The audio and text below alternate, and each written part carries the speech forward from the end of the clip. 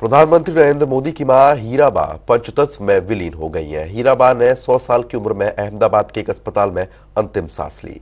नरेंद्र मोदी की माँ के निधन पर देश के दिग्गज नेताओं ने शोक जताया है। सीएम मनोहर लाल ने दुख जताते हुए कहा कि प्रभु अपने चरणों में उनको श्री स्थान दे। पूर्व मुख्यमंत्री भूपेंद्र हुड्डा ने शोक व्यक्त करते हुए कहा कि माँ के जाने का गम एक बेटा ही समझ सकता है। हरियाणा के परिवहन मंत्री मूलचंद शर्मा ने दुख जताते हुए कहा है कि आज प्रधानमंत्री नरेंद्र मोदी जिस मुकाम पर है, उसमें उनकी माँ का अहम योगदान है। नमन करता हूँ। जिस माँ ने देशभक्त और एक इस प्रकार से समर्पित व्यक्तित्व जो हमारे देश के प्रधानमंत्री श्री नरेंद्र मोदी जी हैं, उनको जन्म दिया।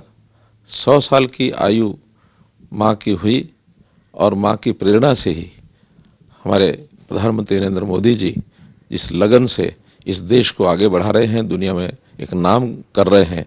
वास्तव में इस माँ की ही कृपा से ये सब संभव हो पाया है। किस प्रकार, जैसे इस परिवार का, जो एक गरीबी के समय में नरेंद्र मोदी जी और सारे परिवार का पालन पोषण उस माँ ने किया, वास्तव में ही बहुत ही सराहनीय है। और मैं आज इस घड़ी पर अपनी ओर से, हरियाणा सरकार की ओर से माँ के चरणों में श्रद्धांजलि अर्पित करता हूँ, प्रभु से प्रार्थना करता हूँ कि उनको अपने चरणों में स्थान दे। ये बड़ी दुखद वो है, हालाँकि सौ वर्ष की थी वो। देखिए, माता तो माता ही होती है। माता ऐसी चीज़ है कि वो प्रधानमंत्री की माता हो, किसी की माता हो, अपना पेट भूखा रख के अपने बच्चे को खाना खिलाती हैं। तो माँ से बड़ी कोई चीज़ नहीं। उनके जाने के जो जो दुख होता है, वो मैं तो उसका बहुत भोगी हो चुका हूँ जब मेरी माता जी गुजरी थी। कितना दुखद होता है, इस दुख की कड़ी में हम प्रधानमंत्री जी के साथ खड़े और इस बात का भी मैं प्रशंसा करूँगा कि बड़े क्योंकि वो स्वयं बहुत सादा थी।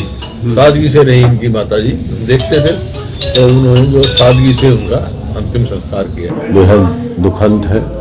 और सौ साल की आयु पूरी कर के गई है। और सबसे बड़ी बात है कि जो माता पिता चाहते हैं बेटा को उस मुकाम पर पहुँचाने का जो माता का आशीर्वाद मोदी जी को मिला है। और जो मोदी जी को इस मुकाम पर जो पहुँचाने का कार्य रहा वो माँ को माँ को जाता है। ये दुनिया में नहीं रही। मैं तो भगवान से यही विनती करूँगा, भगवान अपने चरणों स्थान दे।